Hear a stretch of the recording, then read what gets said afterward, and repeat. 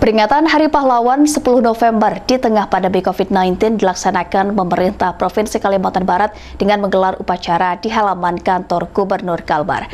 Dalam momentum ini, Sutarmiji mengajak momentum Hari Pahlawan dijadikan sebagai semangat bersama untuk membantu meringankan saudara-saudara kita yang terdampak bencana banjir di sejumlah kabupaten.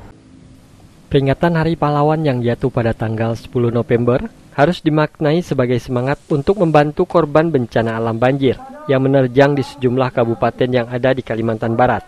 Apalagi di tengah masa pandemi COVID-19 seperti saat ini, semangat kebersamaan dan gotong royong harus menjadi motivasi bersama semua pihak. Menurut Gubernur Kalimantan Barat Sutarmiji, saat ini semua pihak harus melepaskan kepentingan pribadi, kelompok ataupun politiknya untuk bersama mengurus warga kita yang terdampak bencana apalagi di tengah pandemi COVID-19. Sekarang ini kita lepaskan ya, kalau kepentingan pribadi, kepentingan kelompok, kepentingan politik kita dan sebagainya.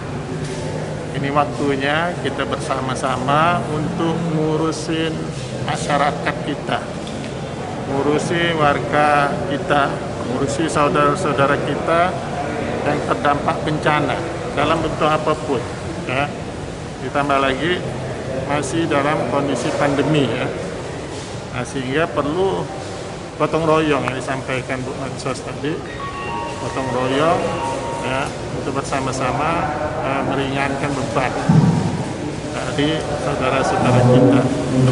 Nah itu yang harus kita ambil makna dari perjuangan.